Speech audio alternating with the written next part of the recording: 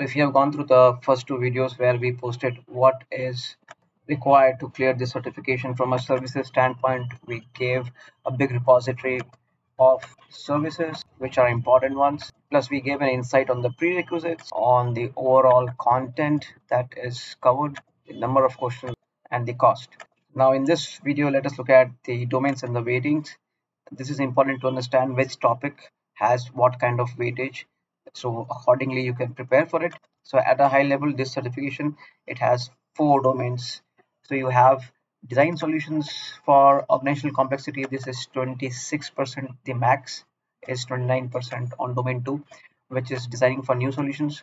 Then you have continuous improvement on existing solutions and then accelerate the workload migration and modernization. So this is 20 percent. So this is the least one but these topics are important. So we cannot say that we can skip the uh, less important ones because the split is almost similar. So let us delve in depth on each of us. Uh, so domain one you have to design solutions for organizational complexities. What does it mean? It means that you will be tested on your architectural capabilities from a network connectivity perspective security controls perspective whether you are able to build resilient and reliable architectures what if you are working in a multi-account AWS environment? How would you maneuver uh, your space? And then cost optimization and visibility strategies. So this is one of the important things where, you know, at the end of the day, whatever solution you are proposing, it boils down to the cost and whether your company can afford it or not. Now, this is the most important topic because we are covering 29%. These topics have a coverage of 29% in the certification. But this is very important because you are going to design new solutions how would you deploy this solution? What are the strategies you would enforce? How would you solution for business continuity? That means the application should not go down. The business should continue happening okay? Then what are the security controls? What kind of controls you will put based on the requirements? What are your reliability requirements? How reliable you want the system to be? Are you going to pay for that reliability? You have a team and you have few people who are very reliable but are you willing to pay for their overtime expenses how are you willing to pay for their travel expenses and so on. So similarly here the reliability aspect the kind of services you plan it comes at a very high premium cost. You want to design a solution to meet the performance objectives. If you need a very high performance systems if you're an indian guy who is working for a like us based or uk based company and you are working the it and you are having a decision making authority boss start you will not get everything for pennies okay? That is the indian mentality chinese mentality. You will have to spend money and then you will get performance okay? The more you save money in this era you will be fucked up man. So determine the cost optimization strategy to meet the solution goals. So what is cost optimization? How what are the strategies you will use? How can you you know maneuver your space so that the less important things are less costly for you the more important things you can divert more money there at the end of the day it's very important. You don't screw up because of your lack of decision making. That is very important. Because if you don't make that decision your competitors are making those decisions and they will just swell and their revenues will go up. So you are missing those things. So do not save the money. This is not the time to save money. Continuous improvement for existing solutions. What it means is see it will not be always that you're building new solutions. There will always be existing systems that you want to move to aws to get benefits out of the cloud platform. So what would you do? You would determine a strategy to improve the operational excellence. See, there may be certain set of operations which is happening. Now you want to derive an excellence by moving to AWS, leverage a good kind of service and etc.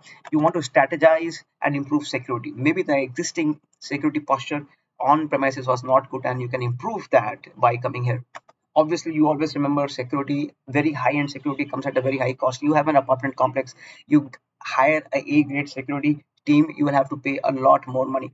You have to determine the strategy to improve performance, improve reliability, identify opportunities for cost optimizations. So now you might say, hey, some of those topics did didn't we cover in domain two? Yes, boss. See, domain two was all about developing new solutions. This is about modifying the existing solutions. So like your existing solution may be not cost effective. You would want to use that opportunity for cost optimizations. You would want to strategize and improve the reliability the existing applications nobody thought about reliability at that point in time. Now this is your time. You have a platform where which can give you very high performance very high security. Use that. Now you can accelerate the workload migration and modernization. This what it means is every time a lot of clients say i i'm on on premises or i may be on azure cloud. I want to move to aws cloud. What do you do? I move the existing workloads i have a potential for migration. I would determine the optimal migration approach for existing workloads so that there is uh, i can make it faster on aws platforms and i do not even have a negative impact on the production systems which is already running. You have a new architecture for existing workloads so you might think that that you know by re-architecting you might be doing wonders to the system. Go ahead and do it. Determine opportunities for modernization. So nowadays everywhere we are trying to identify opportunities for modernization and enhancements. So the focus should be um, i mean this is very important from a client perspective. The, their focus should be that they should keep their pockets deep in, at this point in time. This point means 2023 2024 this is very important. Why why why why? Because the if you modernize and still you are stuck with some element of crap. This was your opportunity. You didn't make use of the opportunity and you're still sticking with a lower performance system low security etc so do not do that. Go for the maximum uh, kill.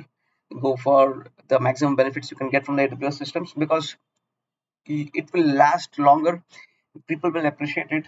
It will turn out that your users will appreciate it okay so if you still think that there are people in your company who are not aligned to do that from a decision making perspective and they talk a lot about budget and etc not a right organization for you man move out. Now let me talk about some of the technologies and concepts that may appear in the exam which we have covered to some extent but you know these are very important.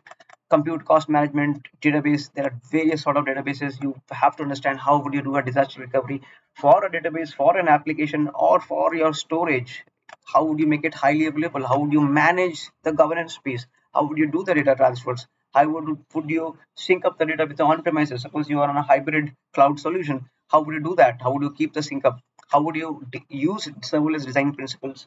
How would you make leverage of security storage and so on? So this brings us to the end of this part where we covered what are the domains what are the important topics which are important in these domains. Now what we will do in the next part is we will go into each and every domain and then go into the depth of what is required uh, to understand for preparing for the certification.